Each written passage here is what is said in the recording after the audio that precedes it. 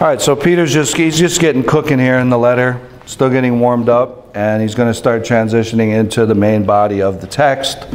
And so a lot of people see these verses here as something of like the theme of the letter, um, and what Peter's trying to ground us in as he moves forward to deal with all the heresies and the errors that come next. So throughout the next chapters, he's going to deal with grievous errors uh, concerning Christ, concerning the gospel, concerning the Christian life. And so everything he's been doing in chapter 1 here, grounding us in this way of godliness, is preparing us against that. And so that's what he's continuing to do here. And he's going to emphasize it kind of on a personal note in these verses here. Okay. So we'll just have three points from the passage. First, the truth. Peter's reminding them of the truth that they already have, but he's encouraging them to walk in it all the more, as often Scripture does for us. So, first, the truth. Secondly, the tent. Peter refers to his own death and leaving his own body. And uh, you probably got a footnote in your Bible there because the word body there is actually the word for tent. And so it's a wonderful picture of when we're in Christ, how we can view this, the tempor temporal nature of this life. So the tent, and Peter's about to die. He's about to leave that. So, and then third point will be the time. Peter's looking ahead. When that time comes, the Lord told him it will come. When he leaves, he wants to make sure that these believers can always recall and look back and remember the things, the most important things that he's been impressing upon us as he's been doing these last few verses. Okay feel like that was longer than usual intro there. The truth, the tent, and the time, and then we'll try to apply it. Okay, first the truth. So Peter's saying, therefore, because what he's been saying is the, the holy cauldron of remembrance and effectiveness in the kingdom that he said there a few verses ago, that he told us make every effort to supplement your faith with virtue and virtue with knowledge knowledge with self control, self control with steadfastness, steadfastness with godliness, godliness with brotherly affection, and then finally brotherly affection with love. Those seven ingredients there. And last week, what he told us is when we walk in those ways, we're growing in those ways, we're focusing on those ways, and cultivating that prayerfully, asking the Lord to bless us. When we do that, he says that keeps us. There's a promise there. We will never fall away from Christ. If we walk in the motions of those, those steps of holiness or those ingredients to supplement and build up our holy faith. And we will have that assurance because our faith will be strong. And in this way, the kingdom's doors will be flowing wide open for us. Okay. So, therefore, because of that, because that's so true and so sure, and there's so many promises there, Peter says he intends always to remind us of these qualities. So, as long as Peter has breath, as long as he's remaining, he's going to continue to admonish and point to those very basic things. All right. He uses the phrase, he, he's reminding, he uses throughout this passage. And so uh, I titled the sermon, um, Remindcraft. It's not bad. Um, Peter's basically trying to forge out this, you know, like that, that list of the seven ingredients. It's like he kind of formed this unit to give to them, this form of sound words that they can carry with them. And it's not a bad thing to memorize just those seven ingredients there. It can be done. It can remind us ways we can supplement and grow. But Peter's kind of hammered it out into that form, you know, like the crafting table in Minecraft. Just put those ingredients in there. Make sure you add all the ingredients or the magical portal to heaven's glories will not open. So you got to make sure you have all of them there. And Peter's bringing us into remembrance. Anyway, it just reminds us that the Christian faith is, is so focused on the mind and much of the Christian faith draws from that battlefield of the mind, taking control of the mind, and growing in God's truth in a, as we've seen, in a deliberate way, in a hands-on type of way that we want to grow and supplement. And so a lot of it has to do with remembrance. The Christian religion just happens to be a religion of truth and knowledge. And so all Christians are called to this, the exercise of knowing the truth and sharpening our minds and girding up the loins of our mind. And in this way, bringing to remembrance these basic truths. We always need to be brought back to them. And so, that really, the Christian memory here is on display, and it's, a, it's something we can all grow in to keep the truths of God before us as clearly as possible. And Peter's really helped us out by giving us that little nugget there. Um, that's what these things are, then. That's what we're saying. These qualities. I, I intend always to remind you of these qualities. That's that list of seven ingredients that he added to our faith there. Um, it's possible also that Peter has in view this whole letter. This is his final letter. It's got that vibe of like a last testimony or last word, deathbed kind of word utterance that he's giving. And so, not just these last few verses, but the whole letter is going to have that feel, that urgency, and sort of that, that simplicity of focus on the major things, things that are most important, so we can clearly focus on them. And so, it's the mind, and he's reminding us and bringing it to remembrance. He says here that he's doing this not because we don't know these things or because we don't have them, but because we do. Christians know this. Christians have this. Christians walk in these things. Whether you know it or not, as a believer, these things are at work within us. And, you know, God's going to see to it that we're growing. Peter's encouraging us here to get hands on so that process can go more quickly. We can have more assurance, more confidence before God as we face the day of God to come. It's whole theme of the letter there and the judgment. Um, but he's really been encouraging us there. We already have it. Paul talks like this too. You know, when something's going well, you kind of want to focus on it and make it go better. I, I, you know, those areas of in our lives where we're strong at, those things that come naturally to us, or skill sets we have that just kind of flow, that we're good at. That's where we want to, generally speaking, you know, that's the wisdom, to focus on those things where we're growing or where we're strong. And so, as Christians, all the more, as we grow mature, we want to focus all the more then on stirring these things up and bringing them out and growing in Christ. He says an interesting phrase here. He says, Though you know them and are established in the truth that you have, um, he talks about the possession of these things that believers have. All right.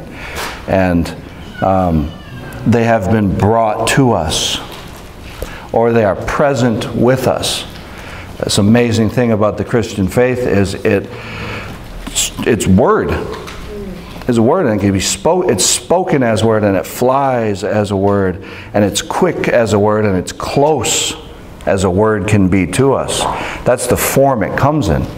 Yes, in the Old Testament they had, you know, the rituals and the ceremonies that pictured these things.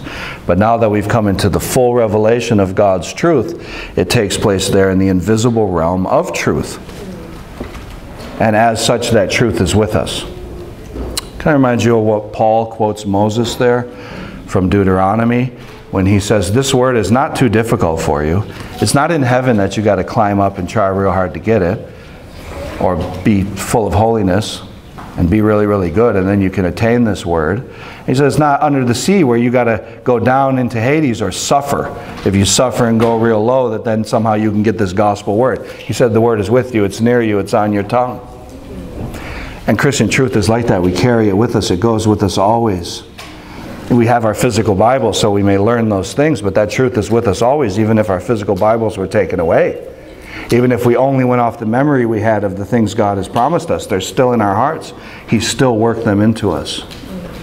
And so much of the Christian life is sometimes, you know, we do learn new things. Sometimes you come into a new doctrine, but not always. A lot of times, mostly the Christian life is just those things we already know, but growing further in them, understanding them more, appreciating them more, and being established firmly rooted in them more and more and more just as a mighty tree grows. The more the tree grows and the more the roots sink in, the more difficult it is to upend that tree. So, same thing with us.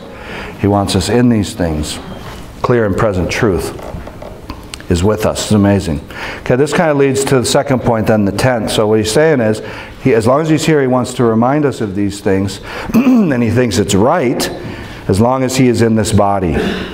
Because he knows that the time of putting off his body is coming, and he won't be with them forever.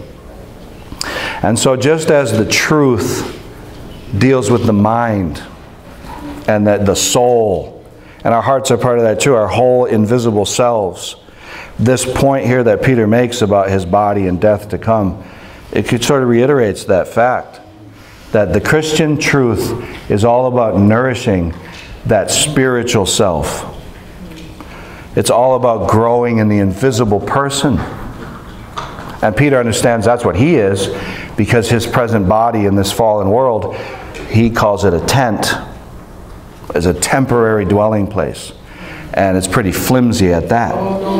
And so he knows he's quickly about to put that off, but he knows that he himself, the true Peter, will fly to glory and be with God. And it reminds us of the fact that the Christian faith, the kingdom of God that's in our midst, is a very invisible thing that we partake of invisibly in the hidden person. And no one can see that hidden person except God and us as far as we understand ourselves. And sometimes we don't understand ourselves. So, well, and the Lord knows that truly. But you can't see that invisible self, that person who you are, if you think, who am I? You know, the bodies we have, they are our bodies. They're part of us. And even though when we die, our bodies go to the ground, at the end of time, we'll get bodies back, resurrected bodies. We were made and designed to inhabit our bodies, and our bodies are part of who we are. That's true. But our true self is an invisible reality. And Peter's concerned about that invisible reality to give us that invisible truth. And so we can just keep our heads in the game, as he's been telling us in the last letter, too that the time is short and the place we're in is not home because it's tent. It's a tent. It's a tabernacle. So um, I just love that picture of the tent because a tent is not something you set up as a permanent place. It's as you're passing through. And it's not made to be permanent. And you'd be a fool to try to make a permanent and long-standing home in a tent. You need houses for that sort of thing. And yet Peter's saying that our lives in this world, our present lives, as stable as they can be and, and how well they can go sometimes, both spiritually and earthly, in an earthly way, it's all good. But at the end of the day, it's such a temporary thing, and we would be foolish to put our stock and hope and focus in this life because it can be taken away so easily and it will be taken away for all of us. And all of us will soon, shortly, at some point in time, and it won't be truly long for any of us compared to eternity, we will go.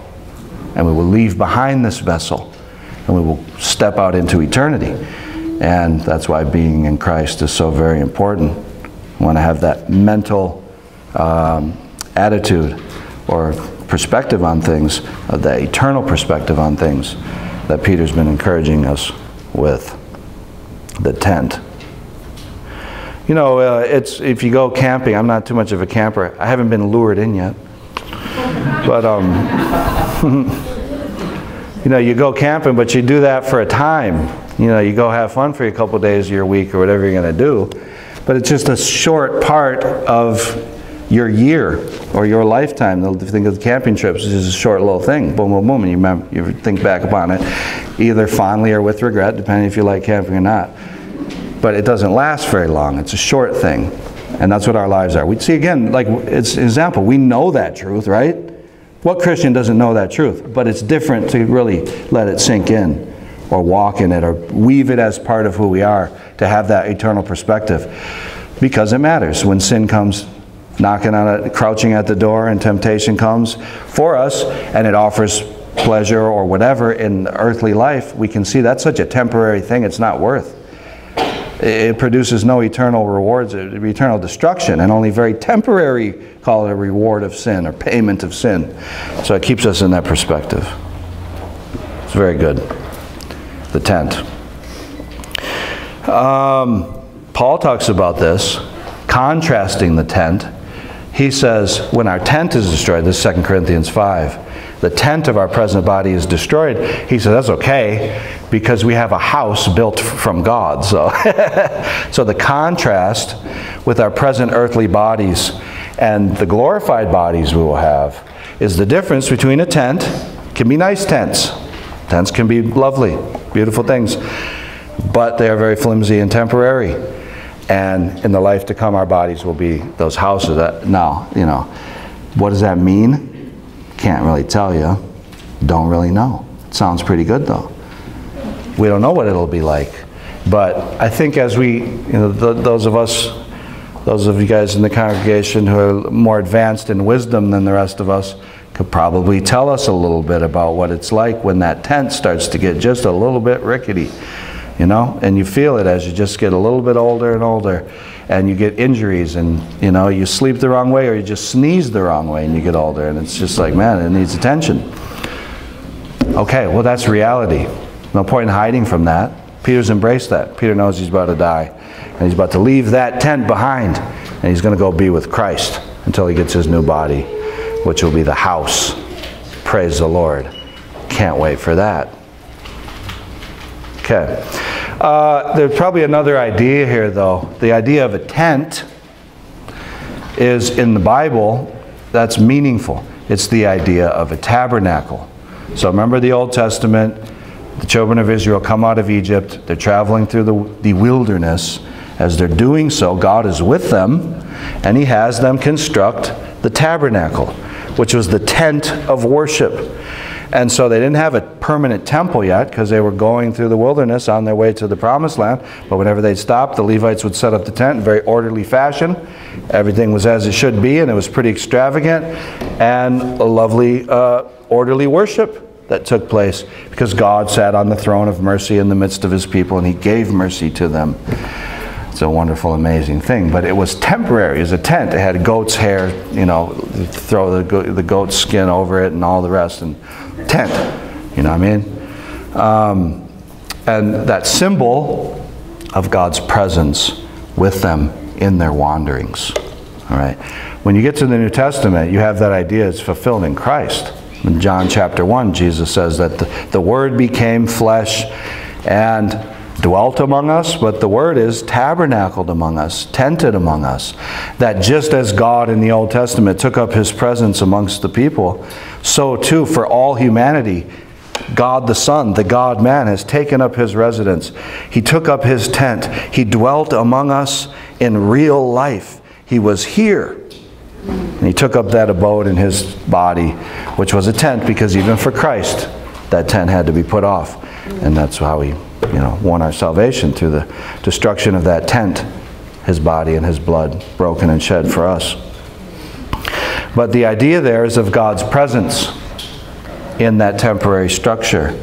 And, you know, for Peter, this is also true. This is why Peter wants to leave behind these remembrances, because Peter understands there is a light shining from him. There is a Shekinah glory there, or a light of truth that he has because he's Peter. It's Peter the Apostle. And there's a difference there between Peter and us. You don't, there's no more apostles. They're not coming back. We're not getting any more of those guys.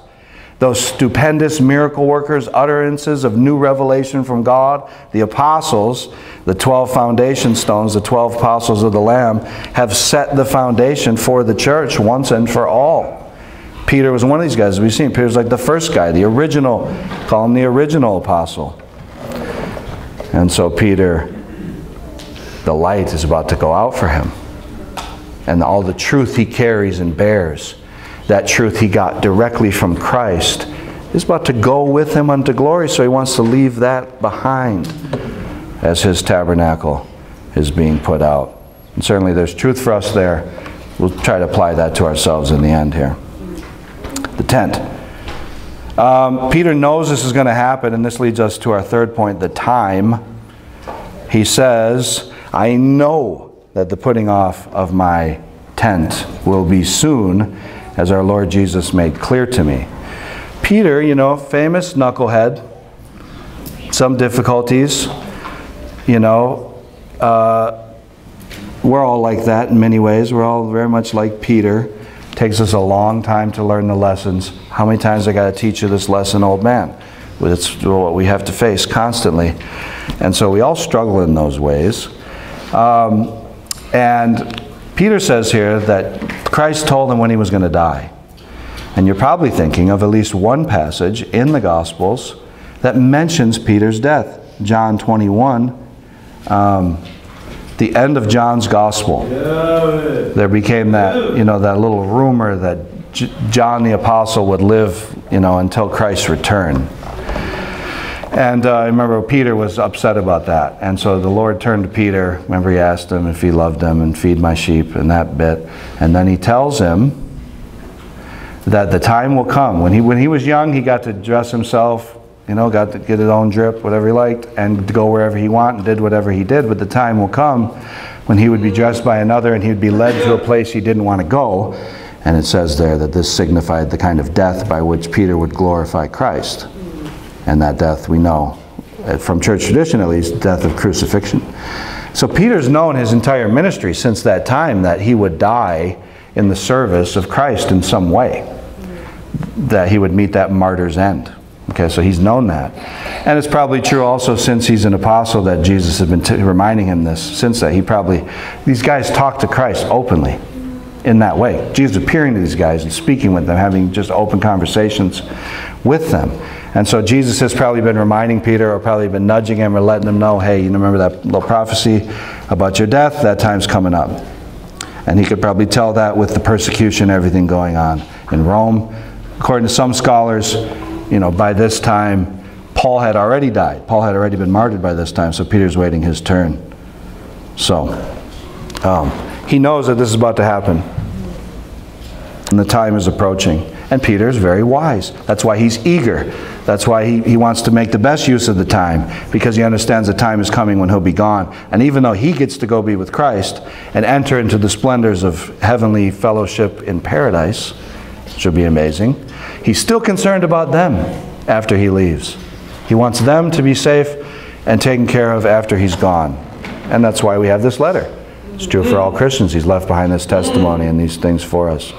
And so that's the prophecy. And so what he says is, what he wants to do, verse 15, I will make every effort so that after my departure you may be able at any time to recall these things. So he wants to work hard so it's easy for us.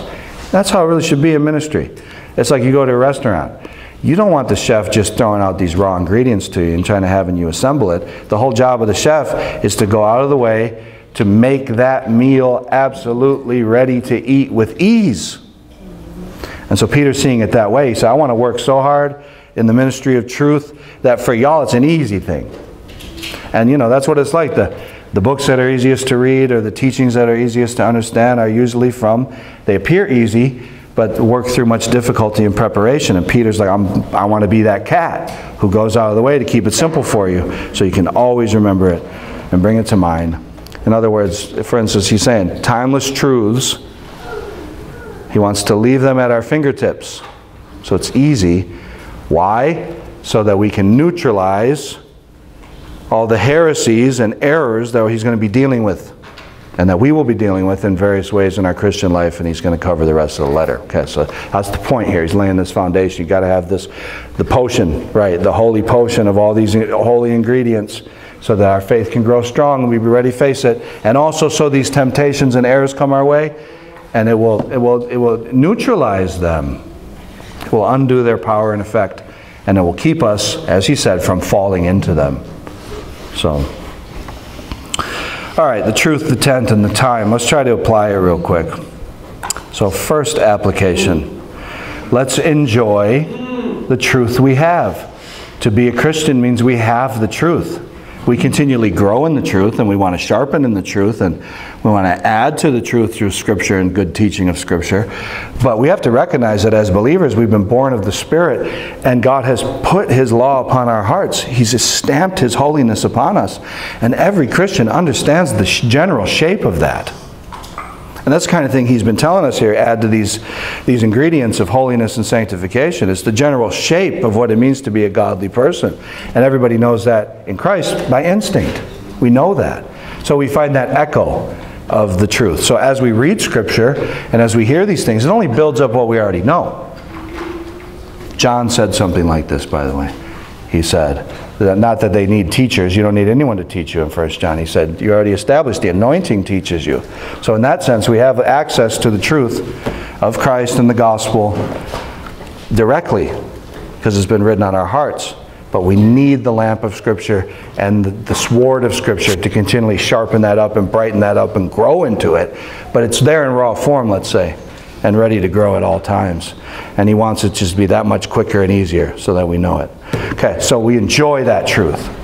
That's what He said. It's present with us. We have it. The truths of God are not unattainable for any Christian. Anyone with faith, just like the, the, the sick and the lepers in Christ's day, you don't have to be a special person to be healed.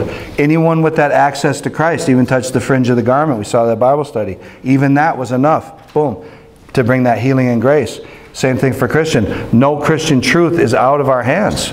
It is but the touch of faith that brings it to us and makes it ours and you know obliterates the imposter syndrome. How could i? This truth this is for the theologians or this is for the really godly people or the people that have suffered or been with christ for a long time. No it's for everybody. Truth of god for every christian. Let's enjoy that. We have that. And we're growing that Second application, let's live wisely in our tents.